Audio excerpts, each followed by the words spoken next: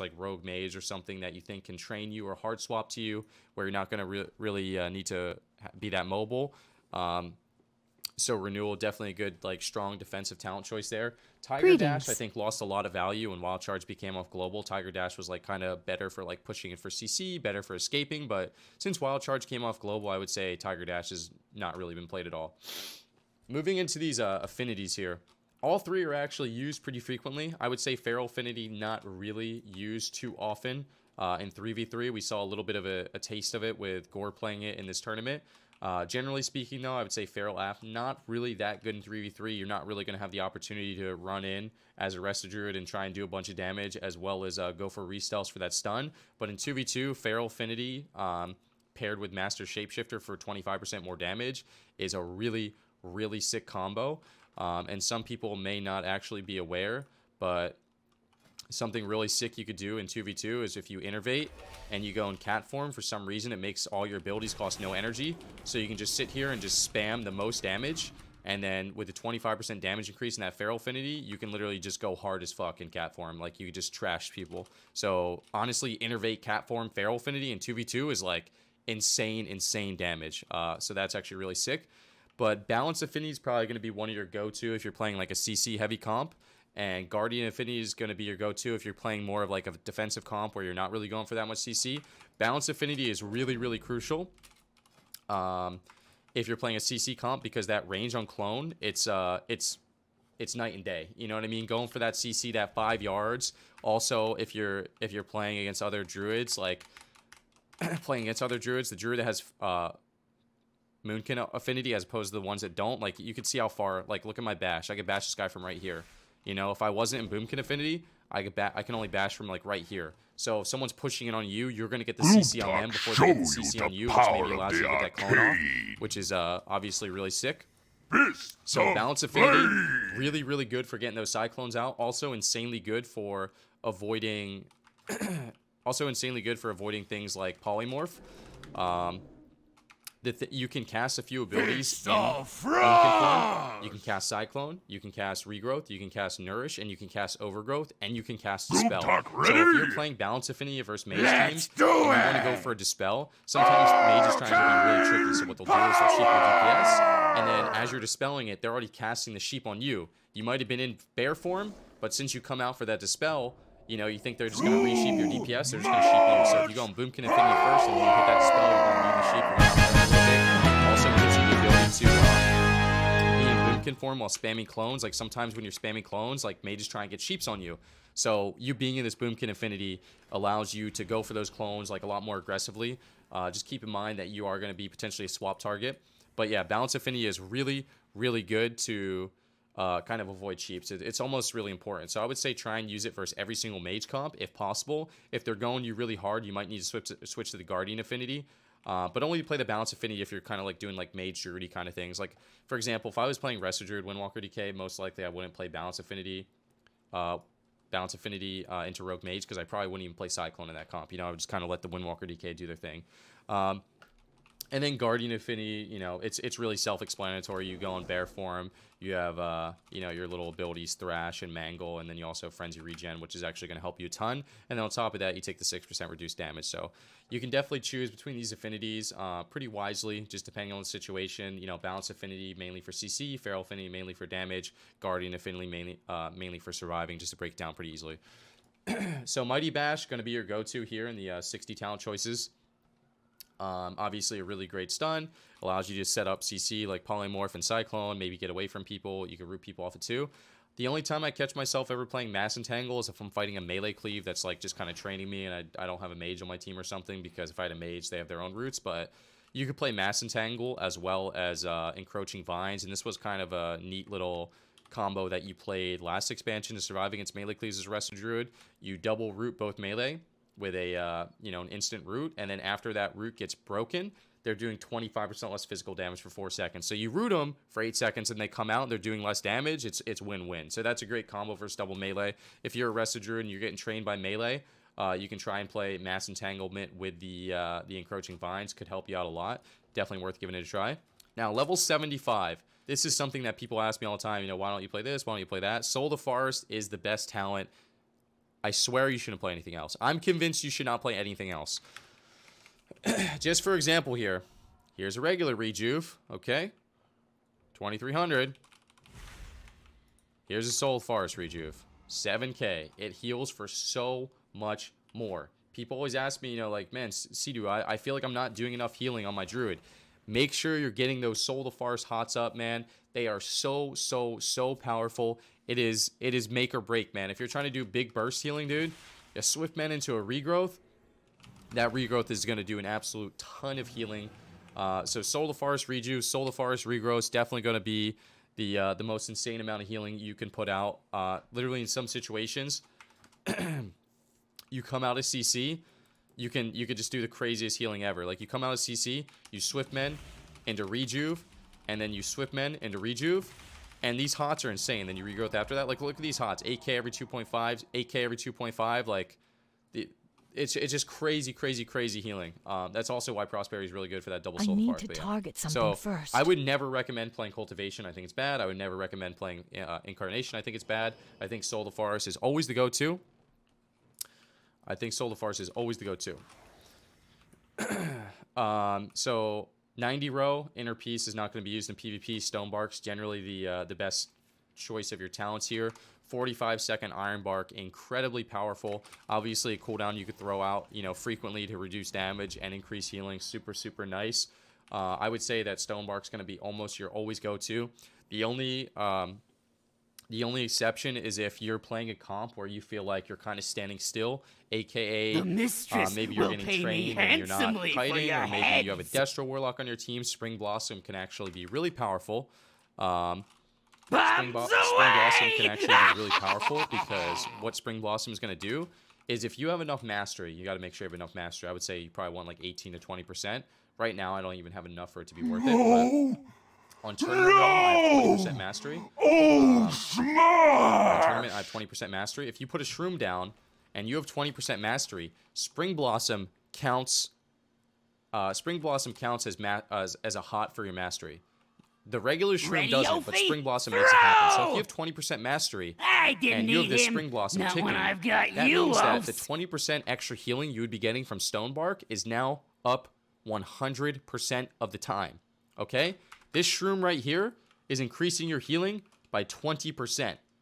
20% increased healing from the shroom if you're playing Spring Blossom. Like some of these other Pokemon that Spring Blossom, This is actually a really sick talent. So the way you look at it is Stone Bark essentially only reduces the cooldown of Iron Bark by 15 seconds. And this is increasing your healing by 20% all the time. So Spring Blossom's actually a pretty decent talent. It's not bad. You got to be playing a comp that is kind of immobile, like I I, don't said. You have a want a Destro. Warlock or maybe a Shadow Priest standing still the whole time. you get less access to that Stone Bark, but Spring Blossom is just going to give you the most possible healing. So, two not bad talents there. Definitely something to uh, a mess around with. target. Uh, photosynthesis is something that a lot of people, you know, have talked to me about. I don't really ever try it. I don't think it's good enough. I think it's good in Mythic Plus and PV and stuff, but I think Germination's way too way too powerful. Uh, I feel like if you don't play Germination, you lose a lot of uh, you lose a lot of value on Soul of Forest because sometimes you do have to like Swiftmend into Rejuve into Swiftmend, and then if you can't put up this second Rejuve and you can't get a regrowth out, it just kind of feels like you're wasting that Soul of Forest proc. I don't feel like photosynthesis is good enough. Uh, you're more than welcome to try it. A lot of people may disagree with me, um, but personally, I feel like germination is just way too good. Uh, you know, it gives you that extra healing on your mastery if you have a lot of mastery, which I hope you do. Uh, you know, that's going to increase your healing by a lot as well. I think this uh, germination is definitely the, the go-to talent. So, uh, honor talents, you play trinket almost all the time as uh, as Resto Druid. I'll play Gladiator's Medallion versus teams that um, can CC a lot. Like I kind of like, or excuse me, I kind of like Relentless versus like Shadow Priest teams, especially like Shadow Priest Mage. I like Relentless versus like Mage Druid teams without a Rogue because if you get blinded versus Rogue, you lose the game immediately. Uh, other than that, like Relentless versus Shadow Priest, Relentless versus Mages without Rogues, like maybe like uh, Mage Hunter. I, that's probably not even a comp. I don't know. Uh, but Relentless is not really it's not really used too often. So generally Trinket, um, generally Trinket, you know, mages without rogues, but who does that? Uh, for example, there was Ele Mage in the tournament. I don't even think I would play Relentless versus Ele Mage because the way that breaks down is like you're not really going to get CC'd often enough. Like that's not a CC heavy comp It's like they're gonna win maybe with a random lightning lasso, which you might need a trinket. I, I don't know. So I would say Gladiator's Medallion uh, is pretty good a lot of the times. Mage Windwalker. I would actually probably play Relentless. Eh, maybe I wouldn't play Relentless versus Mage Windwalker. I don't know. I don't know. Maybe just Relentless versus Shadow Priest right now. Not 100% sure. But yeah, I, I generally play Medallion a lot. so I'm going to talk about just very quickly Two's talents because I want I want to say always use focus growth, but I almost never use focus growth in twos, honestly. Two's talents, I generally play Feral Af, and then versus melee, I play Thorns, and then I also play Master Shapeshifter, and I also play Cyclone. But I'm kind of like a spaz in twos. Like I don't really try that hard. Like if you're if you're trying really hard in twos, you should probably play focus growth for as much healing as possible. Thorns versus any melee team in twos. Thorns is too good to not play in twos. Um, if you're playing a comp where you don't feel like you're CCing much, you're just gonna win with like damage, like you have a Windwalker or maybe a Death Knight or something. Honestly, even clones probably go with a Windwalker. You could play Nourish. Nourish is an unbelievable amount of healing. It's so so so crazy. Um, probably your most efficient spell in terms of healing. Um, so it really depends. Like these these talents are so tricky because you have so many good ones, right? Like Master Shapeshifter is really good with Feral Affinity. Overgrowth's really good to get Hots up for a swap. Um, and then you have Focus Growth, Nourish, Cyclone, Thorns. Like so many really really good talents. So um, Focus Growth, in my opinion, is the best for instant healing. Nourish is the best for casted healing. So um, Shutting down. I probably like, let's just say you're playing Destro Lock Resto Druid, all right, and you're fighting Warrior Shaman. I would probably play Thorns, Focus Growth, Nourish. That's probably what I would play. I probably wouldn't play Feral Affinity most likely. I'd probably maybe I would play Feral Affinity, but I wouldn't play Master Shapeshifter. Just re if you can, but most healing possible. Uh, it's uh, it's it's really hard to say. These talents are there's so many good ones. There's so many good ones. So you could fool around with those a little bit yourself, but focus growth is obviously really insane healing, really efficient. Nourish, really insane healing, really efficient. Depends if you want to get clones or not. Thorns versus melee, 100%. Um, you don't really need overgrowth in twos for the most part. I wouldn't recommend overgrowth in twos. Um, overgrowth in this slot, these are generally the, the talents I play in threes focus growth, overgrowth, cyclone. Folk, uh, overgrowth is just something that is really powerful for applying all those hots. It's actually pretty cheap. They recently reduced the mana cost, so you're getting two rejuves, a wild growth, and a regrowth, a regrowth uh, for 6k mana. And if you look at the mana cost of those abilities, it's actually uh, a pretty good deal. So rejuve 2100, you get one rejuve, that's 2100, one regrowth. It's not really 2800 mana because you're losing out on the uh, the big heal. So maybe just cut that in half. So it's about like 1400 mana worth, and then the life blooms 2200, then wild growth. You know that's a ton of mana. So all those hots up for for uh, 6k mana is actually pretty efficient. So Overgrowth I really like versus every single mage team no matter what because they have Kleptomania, they steal all, all your hots. You want to put all those hots up back as soon as possible. So Overgrowth really good into every single mage team, in my opinion personally. Uh, Focus Growth I use every single game in threes. I think it's too much healing to not use. So generally these are the three talents, Focus Growth, Overgrowth in this slot, and then Cyclone. If you're playing with a mage, you always want Cyclone on your team if you're playing like a melee cleave comp where maybe you're playing like Turbo or you're playing Windwalker DK or something where you feel like you can't CC, dropping Cyclone's fine. You just got to understand your win condition. Is your win condition trying to CC or is your win condition um, is your win condition just trying to outlive and dampen? If your win condition is trying to outlive and dampen, which generally is Windwalker DK, that is the situation. I don't really play Clone, but you can try and sneak it in sometimes if you're fighting stuff where you feel like you can get it. For example, I was playing Resto Druid Windwalker DK the other day versus uh, Destro Warlock Windwalker Resto Druid, and I was just playing Focus Growth, Overgrowth, Cyclone. Because I didn't really think, like, Thorns isn't really that great into Windwalkers because they could swap so easily. Um, I don't think Revitalize is that good. I already had Overgrowth. I could have maybe played Nourish instead of Cyclone. But Cyclone was just good there. Like I would just clone the DPS they weren't killing and leg sweeps, and sometimes I'd push in for a batch clone to get the kill. So I would just fool around uh, with Cyclone on your own. Like if if you play a game where you're not Cyclone and you're like, man, it was really hard to finish that game, try Cyclone out a game. You know, see if you can actually maybe sneak those Cyclones in and dampening and uh, maybe get some wins. But you don't need to be clone heavy. You know what I mean? You don't need to try and like bait interrupts the whole game like Mage Druid, where it's like, okay, I, I want to go for clone soon. Like I'm gonna try and get this interrupt out of the way just sneak in with the bash every once in a while. Try and position yourself where you can't get interrupted, and then just go for those clones. Um, Nourish is something that is going to be probably one of your biggest heals, your most efficient spell. Uh, it's something that's really difficult to get off. If you're ever going to get trained, I would not recommend using Nourish. Uh, but if you're playing with like a mage or something and your mage is getting trained, or if you're playing against melee cleaves and your DPS is getting trained, use Nourish every single time. If you're ever playing a spell cleave, you should probably be playing Nourish because a lot of the kicks are not going to be used on you. Um, so Nourish is an unbelievably powerful spell. It puts a hot up uh, every single time you uh, use it, and then if you already have all the hots up, it critically heals. Like the the amount of healing on this ability is unbelievable. Definitely worth using. Um, you just have to rec- recognize like when you can get it off. For example, Nourish is really bad to Rogue Mage. You know, you don't have the opportunity to cast Nourish. Like versus versus Rogue Mage, you know they could swap you. You know the CS if you get CS Klepto, you probably just lose the game. But you know, for example, if you're fighting against Windwalker DK and you have something on your team, uh, you're not really getting attacked, and your DPS is getting plastered. You're sitting in the backfield, nourish, nourish, nourish. Your DPS is not going to die if you're spamming those nourishes. Um, it's it, it's just way too powerful. Mark of the Wild is uh, really really good into specific teams. So Nature, Fire, Frost, something first. Uh, Dot, and AoE all reduced. So I don't think people actually understand the power of Mark of the Wild. So Mark of the Wild versus Frost Mages, Frozen Orb, Blizzard, Comet Storm, that's AoE, Ice Nova, that's AoE. Those are two of their biggest burst abilities reduced by 15%, Chad. Think about that.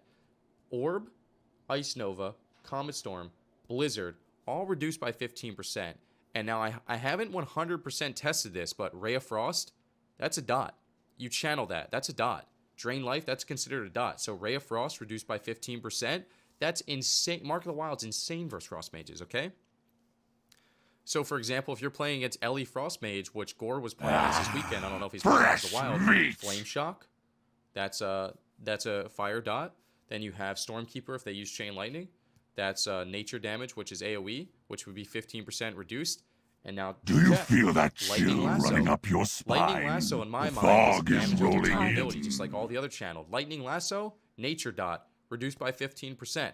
Mark of the Wild, incredible versus Elemental Shamans, incredible versus Frost Mages, pretty good versus Fire Mages. You know, they do the Meteor, they have Ignite. Um, not bad abilities. If you want to try and reduce damage by a little bit more, Mark of the Wild is not bad. Earthquake, yep, Earthquake. It's pretty good. Also, really, really good against uh, Boomkin. Also, really good I against can Boomkin. smell Um, your fear. Nature.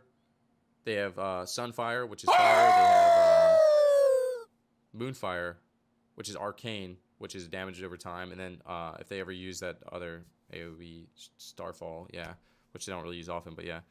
Uh, so Mark of the Wild definitely really really solid versus specific things. Um, you can rebuff in all forms, which is really nice.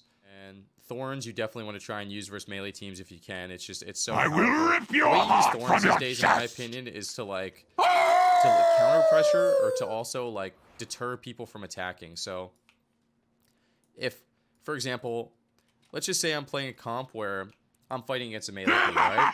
And they're absolutely smashing my DPS. I throw thorns up, and then they gotta think twice if they want to attack that DPS. Not Another way find to use her. is Until it is sometimes too melee late. cleaves like to swap Alone on be triple bloom, you know? praised. It's like you know I'm healing Sam and I'm healing Trill. It's like yo, uh, or I'm healing Sam and I'm healing, I'm healing Trill and I'm healing Mez. I'm healing a melee cleave. I don't know. I don't know how to talk. Mez has triple bloom. Then they go Trill. Is triple bloom. Then they go Mez. They try and swap a lot. Sometimes what I'll do is Mez will have my triple bloom and then they swap to Trill. I'll throw thorns on Trill. I'll make them think twice about swapping. You know what I mean? It's like, oh man, do you tack into the triple bloom or do you tack into the thorns? You know. So thorns is obviously really powerful in that regard to kind of deter people from attacking. Um, also puts a slow up, which is not bad, and does a lot of damage, which is not bad. So definitely a lot of really, really good talent. So, you know, if you're playing it's a melee cleave, you could play Thorns, Nourish, Focus Growth. You know, you don't need the Cyclone. Or you could play I uh, need to Focus target Growth, something first. Nourish, no Thorns. It, it's hard to say, man. There, there's a lot of really, really good talents. Revitalize feels like it's a little behind. Revitalize has decent. Uh, Revitalize